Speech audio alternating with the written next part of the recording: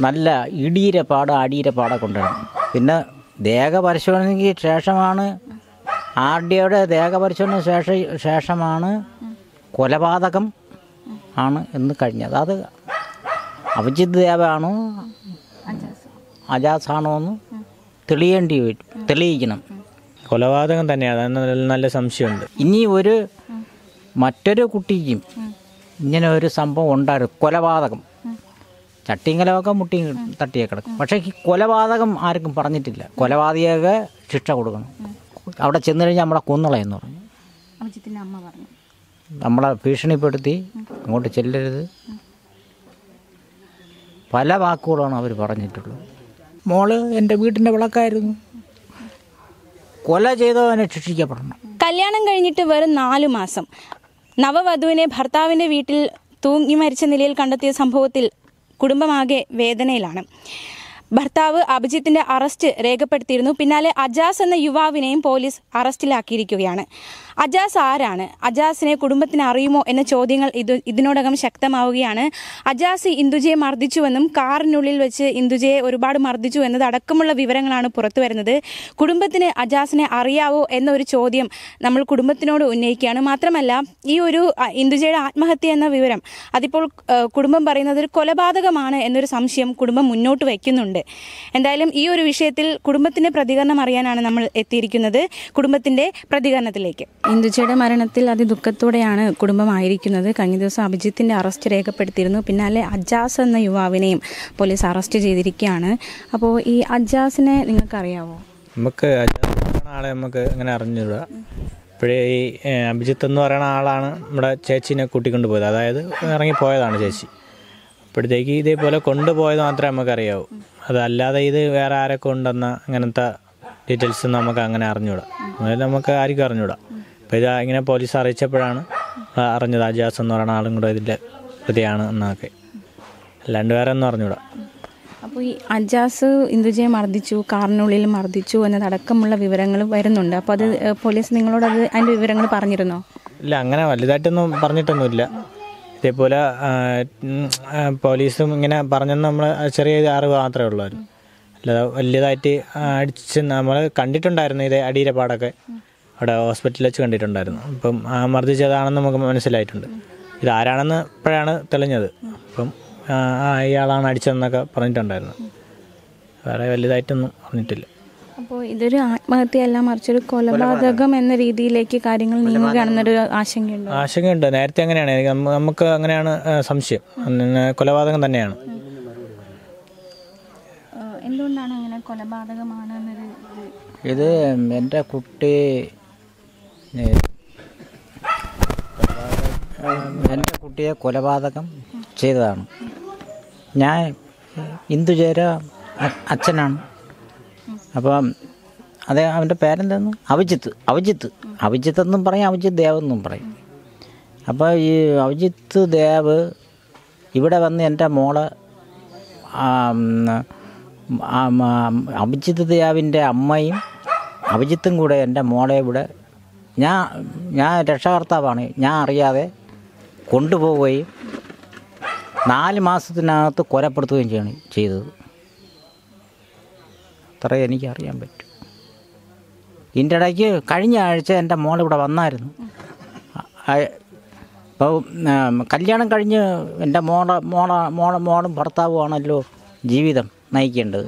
പക്ഷെ ഇവിടെ വന്ന ഇവിടെ എന്റെ മോൾ ഇവിടെ വന്നപ്പോഴത്തേക്ക് ദേഹത്ത് ഈ കണ്ണിന്റെ ഭാഗത്തൊക്കെ നല്ല ഇടീരപ്പാട് പാട കൊണ്ടുവരണം പിന്നെ ദേഹ പരിശോധനയ്ക്ക് ശേഷമാണ് ആർ ഡിയുടെ ദേഹപരിശോധന ശേഷ ശേഷമാണ് കൊലപാതകം ആണ് എന്ന് കഴിഞ്ഞത്. അത് അഭിജിത് ദേവാണോ അജാസാണോ എന്ന് തെളിയേണ്ടി വരും തെളിയിക്കണം. അപ്പോൾ അജാസിനെ പറ്റിയിട്ട് നിങ്ങൾക്ക് ഒരു വിവരവും നമുക്കറിയില്ല. അങ്ങനെ ഒരു വിവരമില്ല അജാസ് അഭിജിത്തിന്റെ ഫ്രണ്ടാണ് എന്നതടക്കമുള്ള വിവരങ്ങളാണ് പുറത്തു വരുന്നത്. അപ്പോൾ ഔദ്യോഗികമായിട്ട് നിങ്ങളോട് പോലീസ് അറിയാം. നേരത്തെ ഞാൻ പറഞ്ഞിട്ടുണ്ടായിരുന്നു ഇതേപോലെ ഫ്രണ്ടാണ്. അത് ചെറിയ ആ അത് ചെറിയ രീതിക്ക് രീതിക്കൊക്കെ അറിയായിരുന്നു. അല്ലാണ്ട് വേറെ അങ്ങനെയുള്ള ഇങ്ങനെയുള്ള ഇങ്ങനത്തെ സീനൊന്നും അറിഞ്ഞൂടായിരുന്നു നമുക്കറിഞ്ഞു അവർക്കൊന്നും അറിഞ്ഞൂടാ. എനിക്ക് നേരത്തെ അല്ലാണ്ട് പരിചയമുണ്ട്. ചേച്ചി പറഞ്ഞിട്ട് അങ്ങനെ ചെറുതായിട്ടേ ഉള്ളായിരുന്നു. ഫ്രണ്ടാണെന്ന് പറഞ്ഞിട്ടുണ്ടായിരുന്നു. അപ്പോൾ ഈ വീട്ടിൽ വന്നപ്പോൾ പാട് കണ്ടു എന്ന് പറഞ്ഞല്ലോ അപ്പോൾ അപ്പോൾ നിങ്ങൾ എന്താന്ന് ചോദിച്ചില്ല? എന്താന്ന് ചോദിച്ചായിരുന്നു. അപ്പം നമ്മുടെ എന്റെ കൊച്ചിച്ചന്റെ വീട്ടിൽ വന്നത്. വന്നിട്ട് ഇപ്പോൾ നമ്മളെ മൂന്ന് എന്റെ എന്റെ കുഞ്ഞമ്മ കൊച്ചിച്ചൻ അടക്കം നമ്മൾ മൂന്നുപേരും കൂടെ ഇരുന്നപ്പോഴാണ് ചോദിച്ചത്. ചോദിച്ചു നമ്മളെ കളിയൊക്കെ ചോദിച്ചു. എന്താ പറ്റി? എന്നെ അടിച്ചാടി എന്നൊക്കെ ചോദിച്ചു. അപ്പോഴത്തേക്ക് പറഞ്ഞു ഇങ്ങനെ കണ്ണൊക്കെ നിറഞ്ഞ ഒരുമാതിരി മുഖമൊക്കെ ആയിട്ട് പറഞ്ഞു. അത് കുഴപ്പമൊന്നുമില്ല. അത് ഒരു അലർജിയാണെന്ന് പറഞ്ഞു. എന്നെ പിടിച്ചിട്ട്. പിന്നെ അത് നമ്മൾ കാര്യമാക്കിയില്ല എന്നിട്ട് ഡൗട്ട് തന്നെയായിരുന്നു. ഇവൾ വരുന്നതിന് പിറ്റേന്ന് എന്നെ വിളിച്ചപ്പോഴേക്കും ഒരു അതിലെന്തോ ഒരു കള്ളത്തരം ഉണ്ടെന്ന് തോന്നി. ഞാൻ സംസാരമൊക്കെ കേട്ടപ്പോഴും. കൊലപാതകം തന്നെയാണ് അത് നല്ല സംശയമുണ്ട്. കാരണം എന്ന് പറയുമ്പോഴത്തേക്ക് ഇവർ പറയണത് ചേച്ചി ഇതേപോലെ ജനാലയിൽ തൂങ്ങിയിട്ട എന്നാണ് പറഞ്ഞത്. അതായത് എന്റെ എന്റെ അച്ഛന്റെ പൊക്കമൊക്കെ ഉണ്ട് ചേച്ചിക്കും. അപ്പം അവിടെ വീട്ടിലെ ജനാലയൊക്കെ ഞാൻ പോയിട്ടില്ല. എങ്കിലും ഒരു അഞ്ച് നാലര അഞ്ചടി പൊക്കമൊക്കെ വരുവുള്ളൂ. അപ്പോഴത്തേക്ക് അതിലെങ്ങനെയാണ് തൂങ്ങുക? എന്തായാലും കാലെത്തും. കയറി പിടിക്കാനൊക്കെ പറ്റും. കാര്യം ആ വെപ്രാളത്തിൽ ആരായാലും അങ്ങനെ ജനാലയിൽ എനിക്ക് ഒരിക്കലും തോന്നുന്നില്ല അതുമല്ല ഇവർ ചേച്ചിയുടെ കെട്ടിയ ആൾ ചേച്ചി ചോറ് കഴിക്കാൻ വന്നപ്പോഴാണ് ഇത് ഇങ്ങനെ ഈ സംഭവം കണ്ടതെന്ന് പറഞ്ഞു. എന്നിട്ട് ഹോസ്പിറ്റലിൽ അവർ അല്ലെങ്കിൽ ഇത് ഇങ്ങനെ കണ്ടെങ്കിൽ നേരെ പോലീസിൽ അറിയിക്കുകയെ ഇതൊന്നും ചെയ്തിട്ടില്ല. നമ്മളെ അറിയിച്ചിട്ടില്ല. എന്റെ ചേച്ചിയല്ലേ. അത് നമ്മ അച്ഛൻ നമ്മളല്ലേ. നമ്മളെ വീട്ടുകാരെ അറിയിച്ചിട്ടില്ല. അതൊക്കെ അങ്ങനെയൊക്കെ ആയപ്പോൾ നമ്മൾ നല്ല നല്ല സംശയമുണ്ട്. അതുമല്ല പോലീസ് പോയി ഇത് ഈ ഈ സംഭവം കണ്ടതില്ല. ഇവർ പറഞ്ഞത് മാത്രമേ അറിയാവൂ. പോലീസ് ഇത് കണ്ടിട്ടില്ല. നേരെ ഇവർ എടുത്തുകൊണ്ട് പോയെന്നാണ് പറയുന്നത് നേരെ എടുത്തുകൊണ്ട് ഓട്ടോറിക്ഷയിലാണ് കൊണ്ടുപോയത് ഓട്ടോറിക്ഷ കൊണ്ടുപോയി നെടുമങ്ങാട് ഹോസ്പിറ്റലിലാണ് അതേപോലെ സംഭവം. നേരെ മോർച്ചറിയിൽ കയറ്റിയെന്നൊക്കെയാണ് അറിയണത്. നല്ല സംശയമാണ്. ഇതേലും ഒരു കൊലപാതകം തന്നെയാണ്. അപ്പോൾ നിങ്ങൾ ഈ ബന്ധത്തെ എതിർത്തിരുന്നോ? ഈ നമ്മൾ അങ്ങനെ എതിർത്തെന്ന് പറയാൻ പറ്റൂല. ജീവിക്കാൻ വേണ്ടി മാത്രമാണ് പോലീസ് എഴുതി വെച്ചത്. നല്ല രീതിയിൽ ജീവിക്കണം എന്ന് പറഞ്ഞാണ് അഭിജിത്തും ഇന്ദുജയും നല്ലപോലെ ജീവിക്കണമെന്ന് പോലീസ് സ്റ്റേഷനിൽ എഴുതി വെച്ചത്. പോലീസ് സ്റ്റേഷൻ എഴുതി വെച്ചു. പക്ഷേ നമ്മൾ കല്യാണമായിട്ട് നല്ല രീതിയിൽ ചെയ്തു കൊടുക്കാമെന്ന് പറഞ്ഞിട്ട് അവർ അംഗീകരിച്ചിട്ടില്ല. ആര്? അഭിജിത് ദേവിന്റെ അമ്മയോ അവരെ ബന്ധുക്കളോ അംഗീകരിച്ചിട്ടില്ല. അംഗീകരിക്കാത്തത് കൊണ്ടാണ് പോലീസ് സ്റ്റേഷനുമായിട്ട് ബന്ധപ്പെട്ട് എഴുതി വെച്ച് രജിസ്ട്രേഷൻ ചെയ്ത് രജിസ്ട്രേഷൻ സർട്ടിഫിക്കറ്റ് പോലും പോലീസ് വ്യാപിച്ചിട്ടില്ല. അപ്പോൾ ഈ അഭിജിത്തിന്റെ ഇതൊരു കൊലപാതകമാണ്. ഇതൊരു കൊലപാതകമാണ്. മകൾ അങ്ങനെ ചെയ്യില്ല. മകൾ തന്നെ അങ്ങനെ ഒട്ടും ചെയ്യില്ല. അവൾ ബി എസ് സി നേഴ്സിംഗ് നാല് വർഷത്തെ കോഴ്സ് കഴിഞ്ഞ് ഗീതാസിൽ ഒരു വർഷത്തെ എം ബി എക്സ്പീരിയൻസും കഴിഞ്ഞ് ഗീതാസിന് പഠിക്കണം അച്ഛാന്ന് പറഞ്ഞു. മക്കൾ പഠിയെന്ന് പറഞ്ഞു. ഇതിന്റെ ഇടയ്ക്ക് നാല് മാസത്തിന് മുമ്പേ ഈ അഭിജിത്ത് എന്ന വ്യക്തി തള്ളയും കൂടെ വിളിച്ചുകൊണ്ട് പോയി. കൊലപ്പെടുത്തുകയാണ് ചെയ്തത്. അപ്പോൾ നിങ്ങൾ ഇങ്ങനെ ഒരു സംശയം നിങ്ങൾക്കുള്ളത് കൊണ്ട് ആ രീതിക്ക് പോലീസ്. അത് ആർ ഡി ആരുടെ നിഗമനത്തിൽ എന്റെ മോളെ ശരീരത്തിൽ കൊലപാതകത്തിന്റെ പാടുണ്ട്.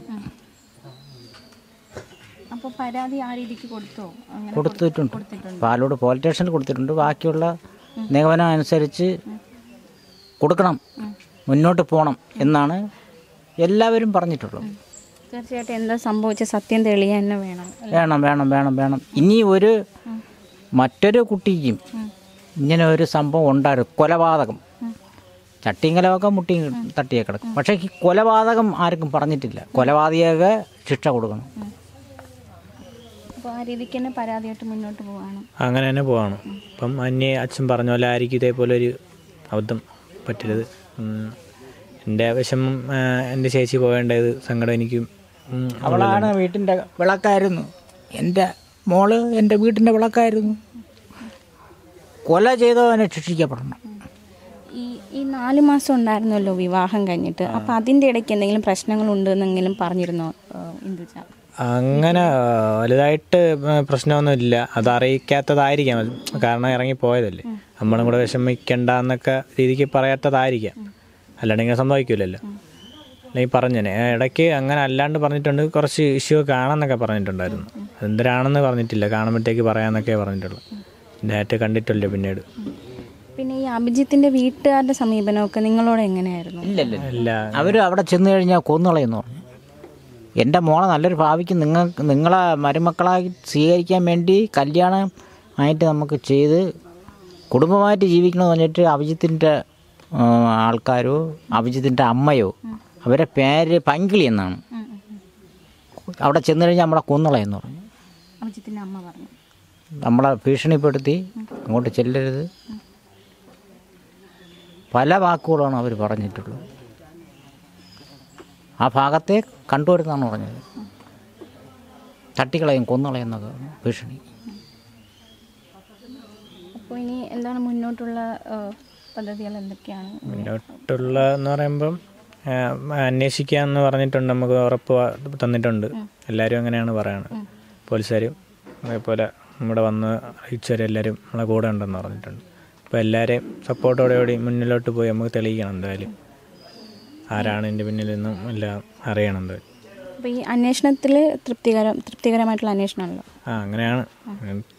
വലിയ പിടിയില്ലെങ്കിലും ആശ്വാസമുണ്ട് ഇങ്ങനെയൊക്കെ പോകണമെങ്കിൽ. പോലീസിന്റെ ഭാഗത്തു നിന്ന് ഒരുപാട് വിട്ടുവീഴ്ചകൾ ഉണ്ടെങ്കിൽ പോലും നിങ്ങൾ മീഡിയക്കാർ അത് നിമത്തിയെടുത്ത് ഈ കൊലപാതകയെ ശിക്ഷിക്കുക. ഇപ്പോൾ അവരെ റിമാൻഡ് ചെയ്തിരിക്കുകയാണ്. റിമാൻഡ് അത് അറിഞ്ഞല്ലോ അത് പറഞ്ഞായിരുന്നു.